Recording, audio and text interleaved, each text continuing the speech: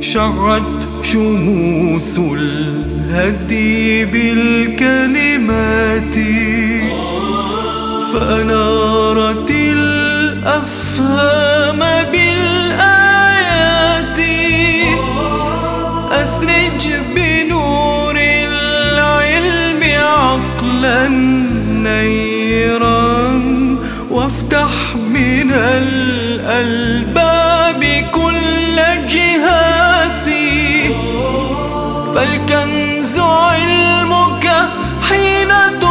تنفقه زكاة والمال لا يزكو بلا نفقات.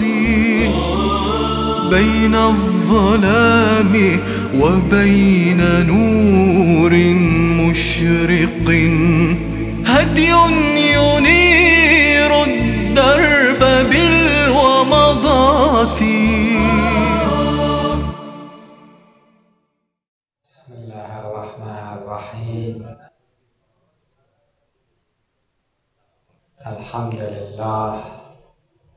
رب العالمين.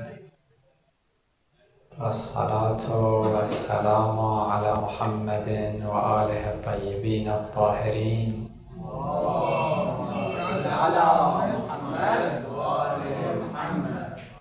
ولعنة الله على أعدائهم أجمعين إلى يوم الدين. هنالك مجموعتان من التحديات.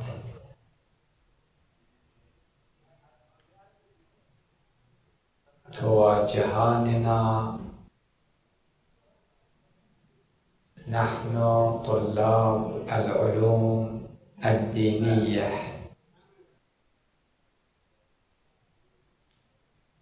في ضمن تحديات أخرى. قبل أن نبدأ بهاتين المجموعتين لا بأس أن نشير إلى ما ذكره علماء الحضارة.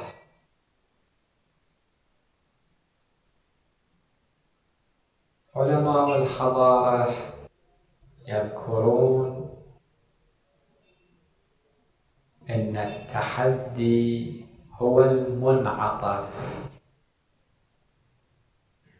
في تاريخ الحضارات.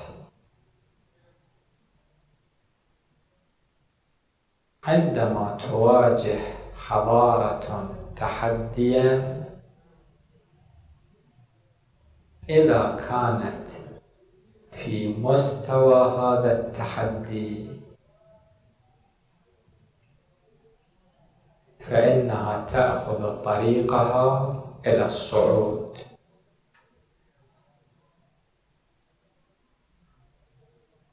وإذا لم تكن الحضارة بمستوى التحدي فإنها تأخذ طريقها إلى الهاوي التحدي هو المنعطف نوعية الاستجابة للتحدي هو الذي يقرر مصير الحضارة.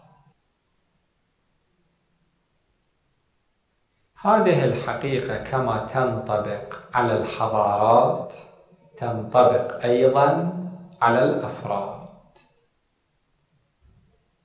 إذا الأفراد يكونون بمستوى التحدي يرتفعون. وإذا لم يكونوا بمستوى التحدي ينحدرون.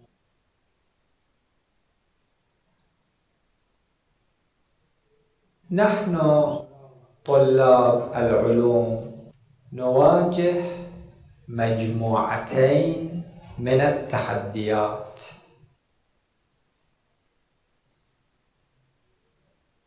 المجموعة الأولى مجموعة التحديات العلمية. التحديات العلمية لها دوائر ثلاث.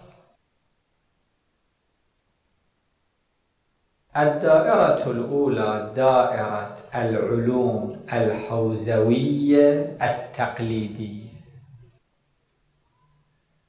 هذه تمثل تحديا كبيرا لطلاب العلوم الدينية. العلوم الحوزوية التقليدية يعني علم الفقه. علم الأصول علم المنطق علم الكلام علم المعاني علم البيان علم البديع علم النحو. علم الصرف على قول الشيخ البهائي ظاهرا يقول نحو صرف معاني منطق آنقدر خونده ام که کردم دق. هذا تحدي وبالذات علم الفقه علم الفقه يمثل تحدي كبير. لماذا؟ لأنه موضوع علم الفقه موضوع يشمل الحياة طولا وعرضا. علم الفقه شنو موضوعه؟ فعل المكلف. إحنا في علم الفقه نحاول أن نحدد موقف المكلف تجاه الحكم الشرعي. موقف المكلف. فعل المكلف موضوعه فعل مكلفين. هذا موضوع يشمل الحياة طولا وعرضا. سعة حدود الموضوع وتوغل علم الفقه في التفاصيل الجزئية. هذان العاملان ينضم أحدهما إلى الآخر. ليجعل من علم الفقه بحرا له أول ولا يوجد له آخر. ولذلك تشوفون الفقيه يقضي ثمانين عام من عمره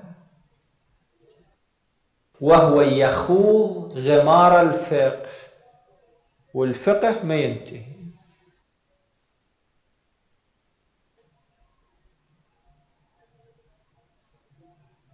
هذا يمثل تحدي كبير. كيف نخوض هذا البحر؟ بحر الفقه بحر الأصول بحر الكلام. شلون نخوض هذه البحور؟ مع هذه الأعمار. شلون نواجه هذا التحدي؟ كيف نواجه؟ هنالك بعد التوكل على الله والتوسل بأولياء الله. تعالى عنصر واحد نتمكن أن نواجه به هذا التحدي. وهذا العنصر عنصر مهم في الحياة كلها. وهو عنصر المثابرة. المثابرة الله تعالى يقول واستعينوا بالصبر والصلاة. الحياة كلها تحتاج إلى صبر وتحتاج إلى مثابرة المثابرة في كل الأوضاع. المثابرة في كل الشرائط. في الحر والبرد في الصحة والمرض في الغنى والفقر في الجوع والشبع في كل الأحوال في التحصيل والتعطيل. أكو هنالك كتاب التحصيل في أيام التعطيل. وأكو هنالك بعض الطلبه شعارهم التعطيل في أيام التحصيل.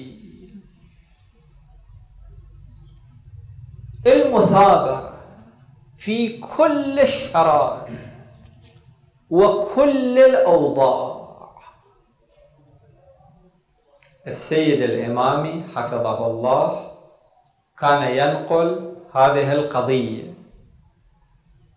كان يقول كان هنالك أحد العلماء الكبار في أصفهان. في يوم من الأيام جاء هنالك ثلج كثير. اللي هنا يقال له برف. والجو صار جو بارد جدا. لا يطاق.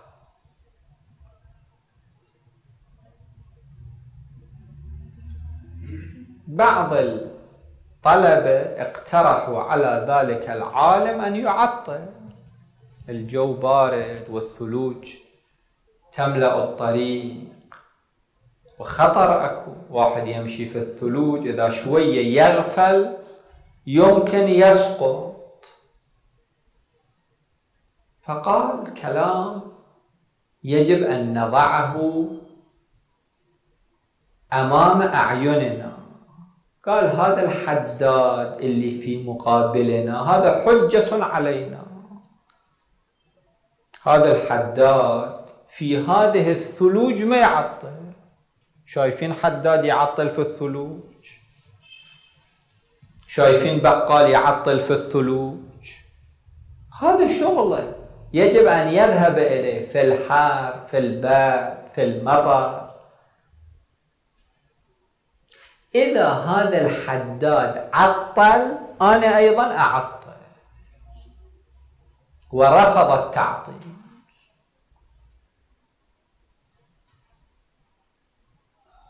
في حر النجف وحر كربلاء ذلك الحر القاتل. البحوث كانت مستمرة ما كانت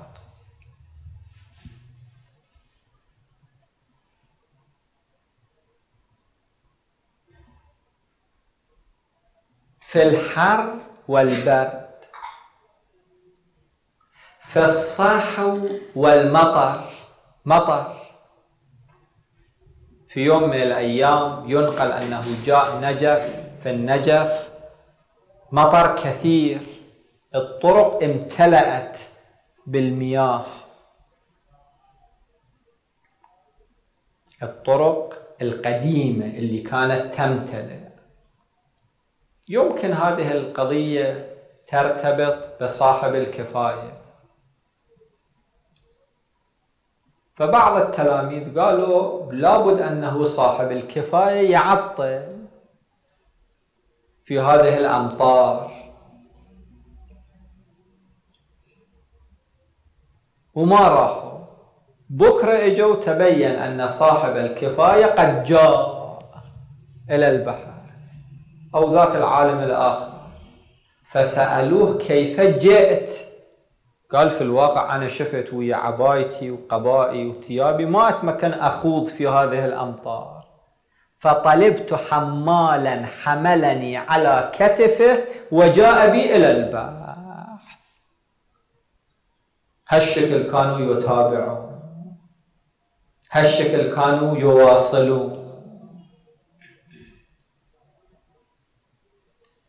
وهكذا أنتجوا. هذه النتاجات التي نراها نتاج تلك المثابرة وتلك الروحية. الشيخ عبد الكريم الحائري رحمة الله عليه هذا كان في سامراء كان تلميذا من تلاميذ المجدد الكبير. في ذلك الحر القاتل كانت له غرفة في الطابق العلوي. في الحر. شفتوا الحر في العراق بعضه. كان يروح في الطابق العلوي في غرفته ويطالع ويفكر ويتصبب عرقا. يفكر في حل المعضلات العلميه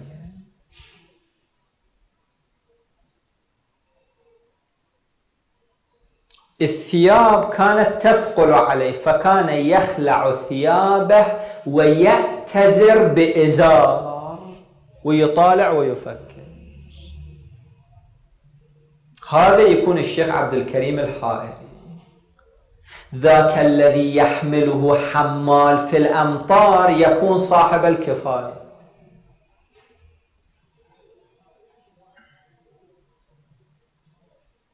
الشيخ محمد تقي البروجردي وهو أحد علمائنا وله شرح على ما ببالي على العروة الوثقى فقر الطلبة القدامى كانوا يعيشون كثير منهم. منتهى الفقر ومنتهى الفاقة. أكل ما عنده في النجف أكل ما عنده. إحنا الآن بعضنا يمكن إذا نقارن بأولئك نكون كالملوك. أكل ما عنده طعام ما عنده. كان يدور يخلي عبايته على راسه حتى واحد لا يشوف عفة عفة النفس. يخلي عبايته على راسه في أوقات الخلوة مثلا. هذا في أوقات الخلوة مني مو موجود في القضية. قاعدة يخلي عبايته ويدور في أزقة النجف ويجمع أوراق الخس المرمية. قديما ما كانوا يلقون اعتباطا هذه الأشياء. دقيقين كانوا يأخذها ويغسلها ويأكلها. شوفوا شلون مثابرة شوفوا شلون روحية ذولا ما يكونون حجة علينا في يوم القيامة. إحنا اللي لمشكلة جزئية بعضنا يفر ويهرب ويعطل كل شيء بعذر تلك المشكلة الجزئية.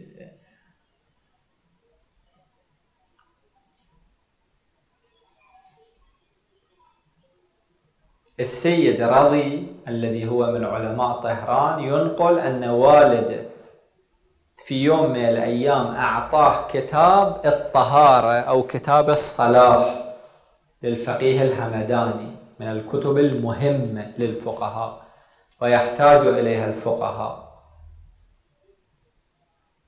أكل ما كان عندهم. قال أخذ هذا الكتاب وبيع في سوق الحراج. حتى نشتري طعاما نأكله. هالشكل كانوا يعيشون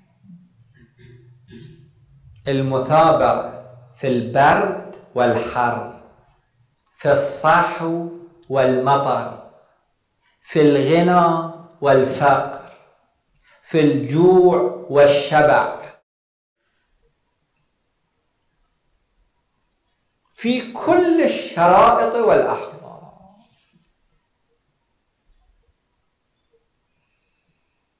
بالمثابرة نتمكن أن نواجه بإذن الله تعالى هذا التحدي الكبير.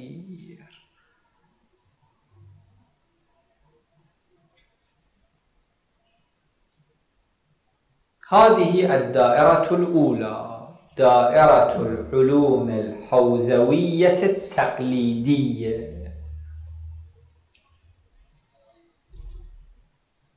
الدائرة الثانية دائرة العلوم الحوزوية غير التقليدية.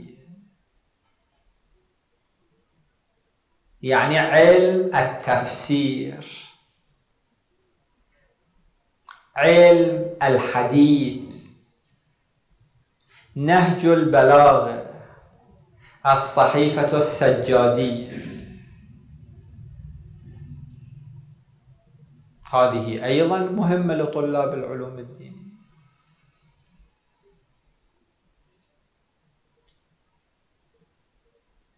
أهمية هذه العلوم أنها تصنع الروح. الدائرة الأولى غالبا تتعامل مع العقل.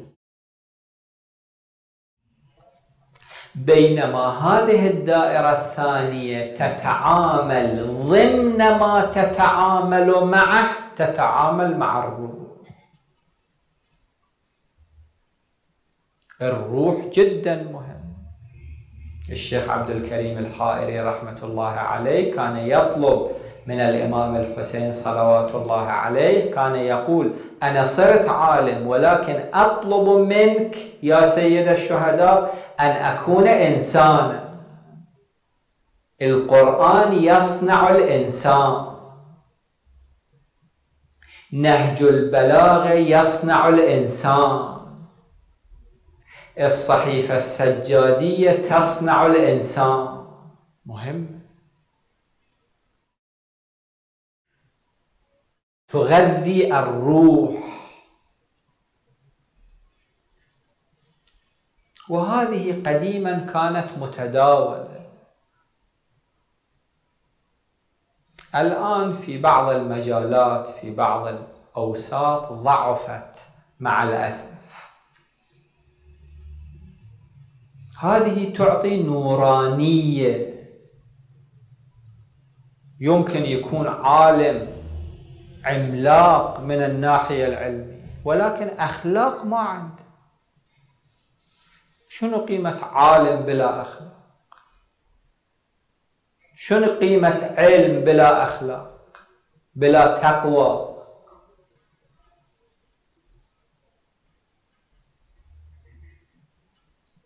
هذه تعطي التوفيق. هذه العلوم.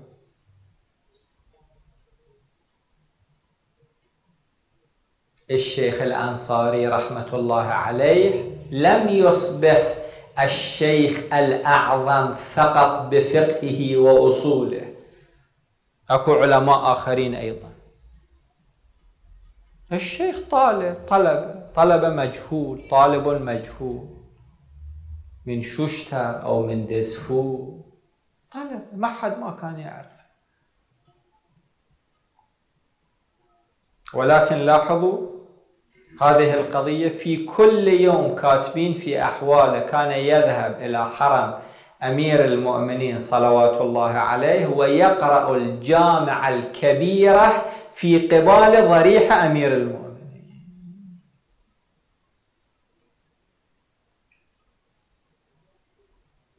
هذا ما يعطي توفيق.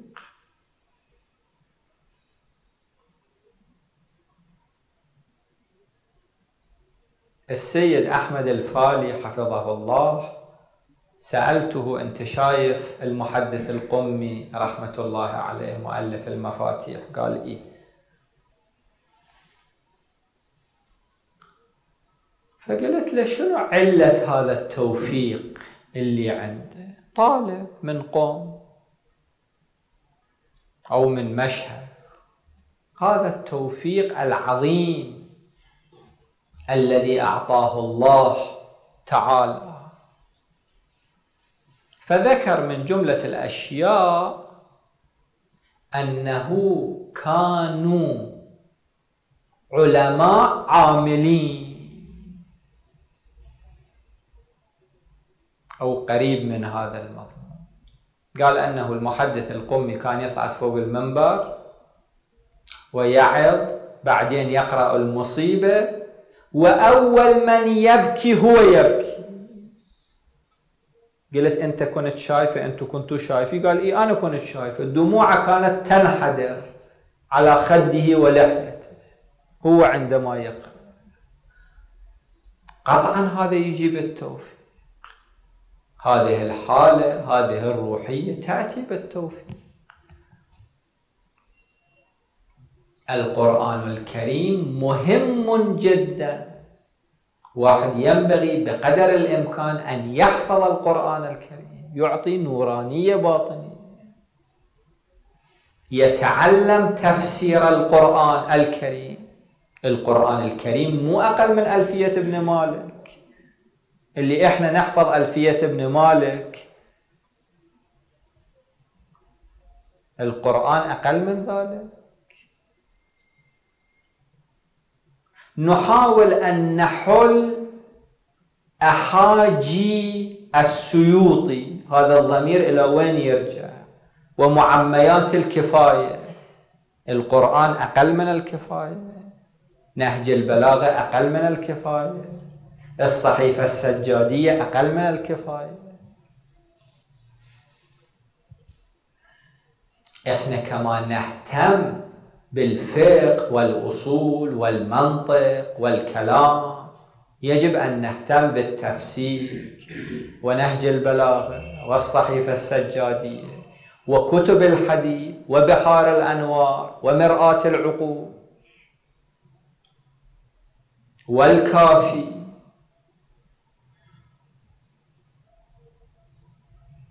الكافي قديما كانوا يقرؤونه. النجاشي كاتب في رجال أنه كنت أتردد مضمون كلام على المسجد الفلاني وكان يقرأ كتاب الكافي كانوا يقروا قراءة.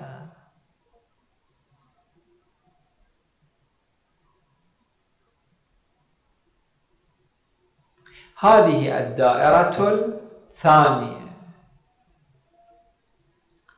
الدائرة الثالثة العلوم الجديدة العلوم الجديدة يعني علم الإدارة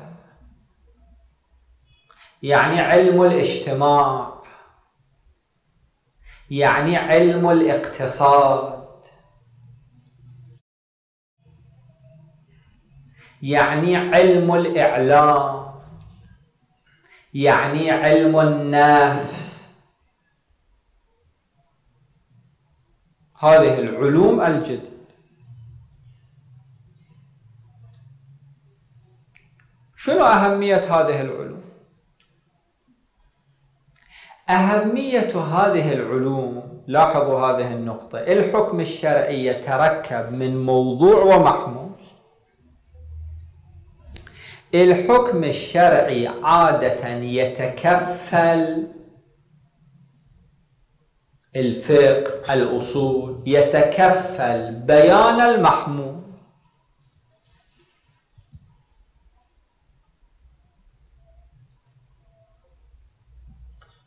هذه العلوم كثير منها في كثير من المجالات تتكفل بيان الموضوع.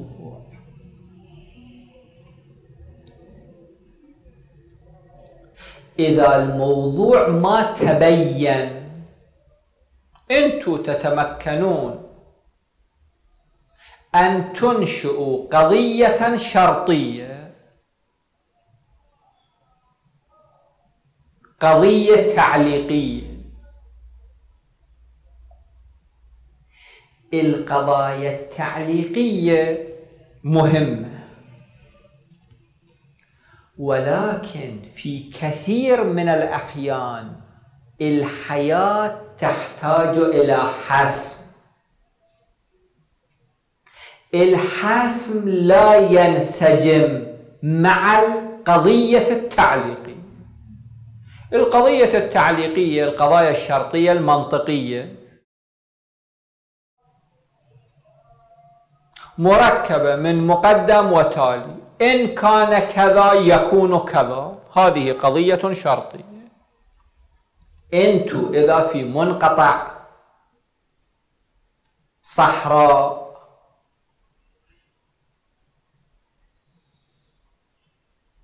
في برج من الأبراج العاجية ما لكم شغل بالمجتمع. يمكن أن تكتفوا بالقضايا التعليقية.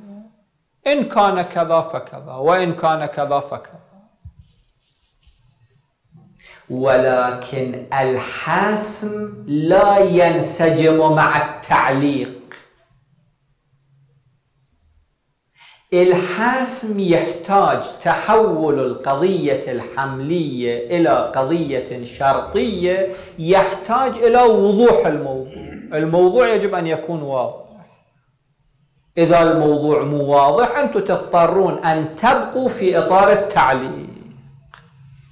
ولا يمكن أن تدار الحياة في كثير من القضايا بالتعليق وبالقضايا الشرطية. هذه العلوم توضح الموضوع في كثير من المجالات. ما أقول جميع المجالات تحتاج إلى ذلك.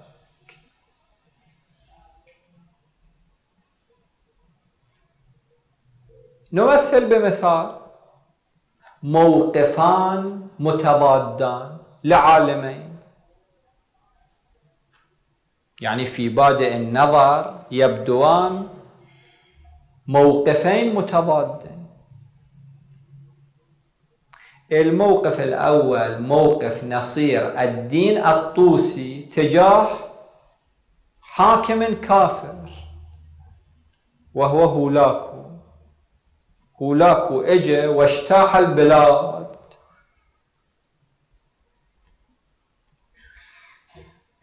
وقتل العباد. وكيف نتعامل؟ تعامل بعد ما بي إن. لو تتعامل وياه لو ما تتعامل وياه ماكو حالة ثالثة هذا يحتاج إلى تشخيص الموضوع. نصير الدين الطوسي كان تشخيصه التعامل مع هولاكو لإنقاذ البلاد والعباد. عندنا موقف على النقيض من هذا. الموقف الذي هو على النقيض موقف الشيخ محمد تقي الشيرازي رحمة الله عليهما. الكفار عندما دخلوا العراق ماذا نعمل؟ كان رأيه المفاوضة أولا والمظاهرات ثانيا والحرب ثالثا. دخل مرحلة المفاوضات مثل ما كاتبين في الكتب ما فادت. بعدين دخل مرحلة الإضرابات والمظاهرات المظاهرات كاتبين ما فادت. فدخل مرحلة الحرب. إذا هذان موقفان متضادان لعالمين ذاك تشخيص في وقته. وهذا تشخيص في وقته. قضية التنباك ما كانت حكما شرعيا. نقرأه في اللمعة مثلا. تشخيص موضوع خارجي تشخيص هذا الموضوع الخارجي لا يمكن أن يستنبط من الكتب التقليدية لأن الكتب التقليدية عبارة عن قضايا تعليقية. يعني يقول يجب أن تشخص المصلحة مصلحة الدين. وكيف أشخص؟ اجى مندوب من ناصر الدين شاه إلى المجدد الكبير وشرح له امتيازات اتفاقية التبغ. هاي شنو فوائدها لإيران وفلان؟ والمجدد الكبير لم يزد على قول بعد ما ذاك كمل كلامه لا إله إلا الله فقط هاي الكلمة. قال شنو أقول عندما أرجع إلى ناصر الدين شاه؟ قال لا إله إلا الله ثم لا إله إلا الله. حتى كلمة واحدة ما كان. واتخذ الموقف. الآن تشوفوا أن اتخاذ الموقف في الأحداث الراهنة يحتاج إلى تشخيص الموضوع. وهذه قضية مهمة جدا. فنحن نحتاج أولا إلى العلوم الحوزوية التقليدية. ونحتاج ثانيا إلى العلوم الحوزوية غير التقليدية ونحتاج ثالثا إلى العلوم الجديدة ولو بمقدار ولو في حدود.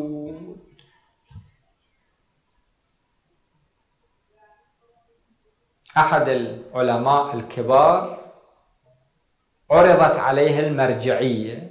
هاي القضية يمكن قبل ستين عام كانت ثمانين عام. الآن تفاصيل القضية مو في ذهني. فقال في الواقع أنا حرام عيني أن أدخل في هذه القضية لأني لو دخلت فيها لأفسدتها. ما أقدر ما يجي أنا أتمكن أن أكون مدرسا. هذا هو. أدرس أدق المعادلات الأصولية لأن كان متبحر في الأصول. بس إدارة البلاد والعباد ما يجي مني.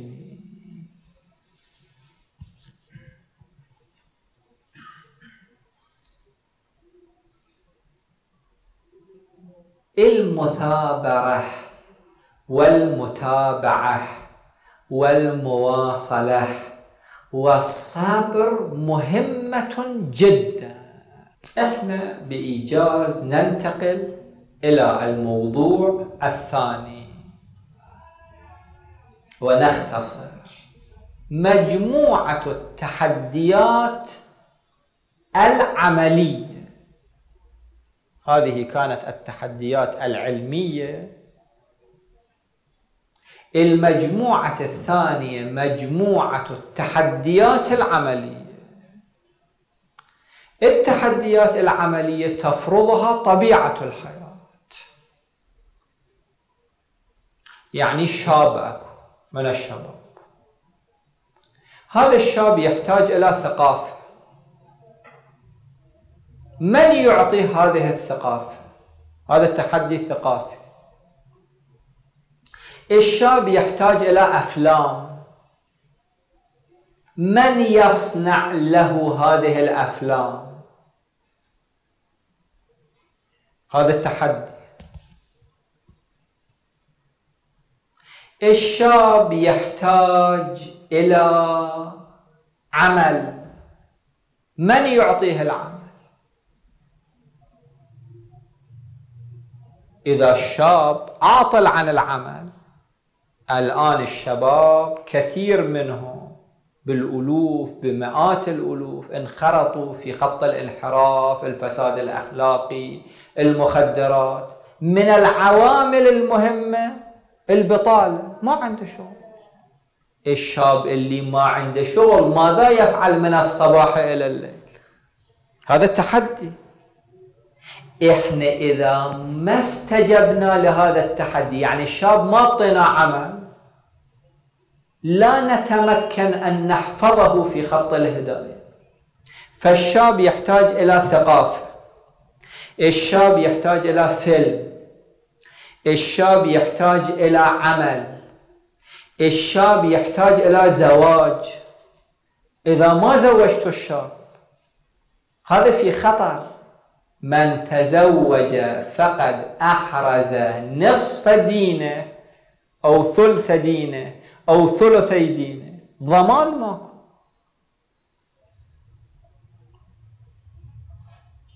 الشاب يحتاج إلى مال. الشاب يحتاج إلى دكان. الشاب يحتاج إلى نادي رياضي. ويحتاج ألف احتياج.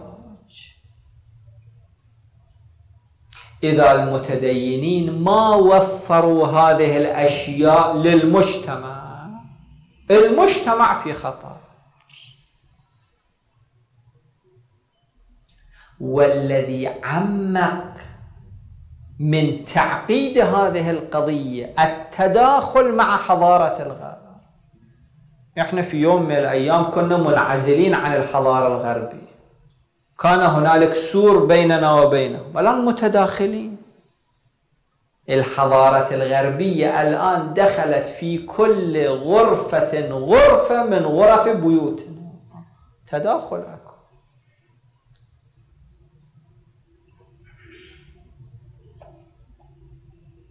الشاب يحتاج إلى مجلة يحتاج إلى جريدة يحتاج إلى راديو يحتاج إلى تلفزيون يحتاج إلى قناة فضائية.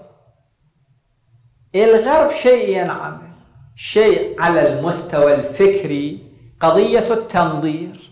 الغرب عنده تنظير اجتماعي عنده تنظير نفسي عنده تنظير اقتصادي عنده تنظير سياسي. بس ولو كان خاطئا في كثير من أبعاده. في كل هذه الأبعاد الغرب عنده تنظير يعني نظرية جاهزة مقولبة. هذا المستوى الأول. المستوى الثاني المستوى العملي سياسة الاستيعاب للمجتمع. الغرب أعطى لشبابنا راديو تلفزيون مجلات جرائد نوادي رياضية إلى آخره. فهذا التحدي التحدي العملي جدا أكبر من العهود المتقدمة.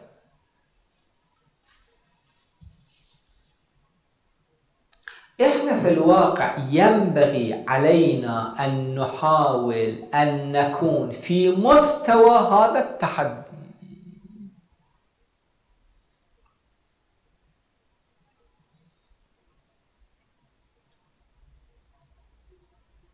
نقل لي أحد المتدينين قال كنت كنت وإلى الآن هو كذلك في بلاد إحدى البلاد الخارجية. مدرسة ماكو. حقيقة هذا مما يؤسف له في البلاد الغربية في البلاد الأجنبية. مدارس إحنا ما عندنا مع أنها من أهم الأشياء إلا قليل عندنا. دول دا يربون هذا الطفل. دا يكونون عقليته مدارس معه. قال هذا الرجل المتدين كانت هنالك مدرسة مسيحية اضطررت أن أضع طفلي فيها أو طفلتي ما أتذكر. طفل أو طفلة. يقول في يوم من الأيام كنا قاعدين على المائدة في البيت وإذا بهذا الطفل يقوم ويروح إلى غرفة ثانية في أثناء الطعام يقول أنا تعجبت. الفضول ساقني أن أذهب وأشوف هذا الطفل ماذا يفعل أو هاي الطفلة. فيقول رحت نظرت رأيت تقوم بحركات يقوم بها المسيحيون. تعظيما للأب والإبن والروح القدس كما يقولون. الأقانيم الثلاثة. يقول قلت هذا شنو؟ قلت للطفل أو الطفلة. قال أنه الخبز وقع من إيدي فجئت إلى هذه الغرفة لأستغفر الله من عملي.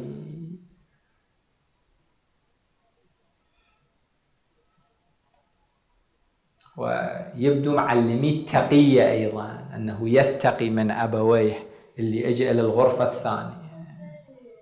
فشفت أنه أن يبقى هذا الطفل جاهلا أفضل من أن يصبح منحرفا وقطعته فورا عن التعليم. كم واحد يمكن أن يقطع أولاده عن التعليم؟ كم واحد نقل لي هذا الرجل في ذلك البلد الذي كان فيه؟ يقول أولاد المسيحيين متعلمون ومثقفون وأولاد المسلمين كثير منهم جهل. بكرة من يصير رئيس الدولة؟ الجاهل أو المثقف؟ منو يصير رئيس الجيش والإذاعة والتلفزيون والإعلام؟ والجامعة. فيقول المسيحيين ماخذين كل الأمور بيدهم أو كثير من الأمور.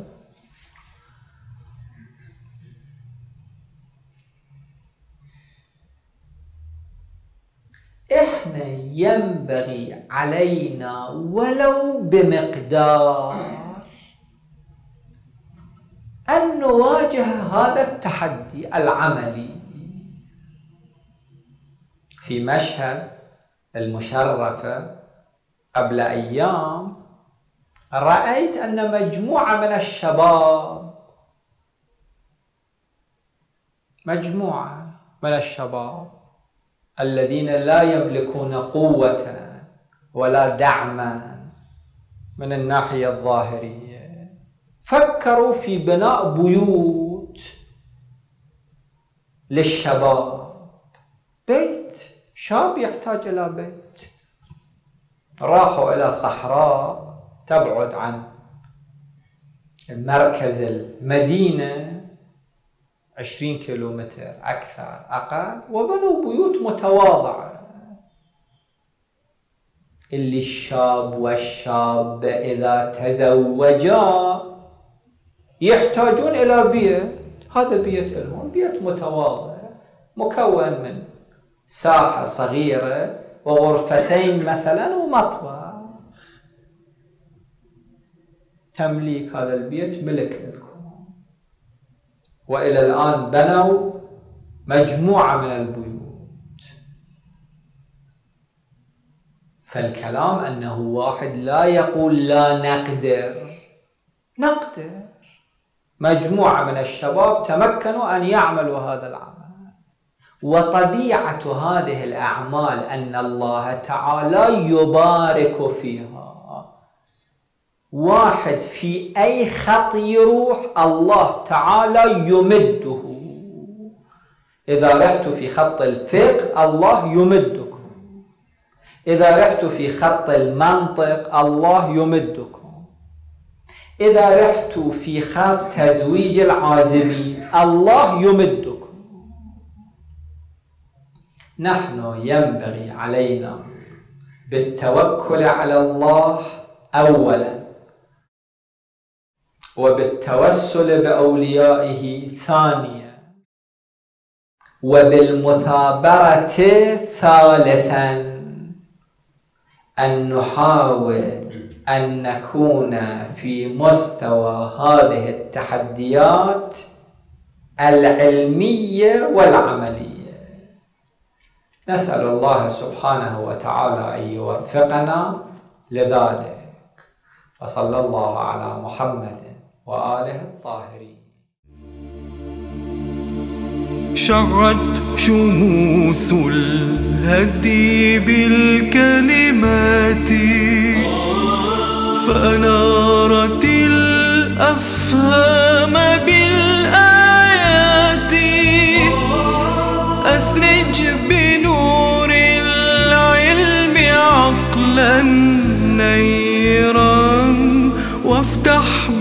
الألباب كل جهاتي فالكنز علمك حين تنفقه زكاة والمال لا يزكو بلا نفقات.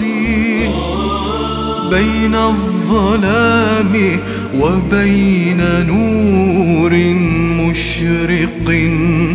هدي ينير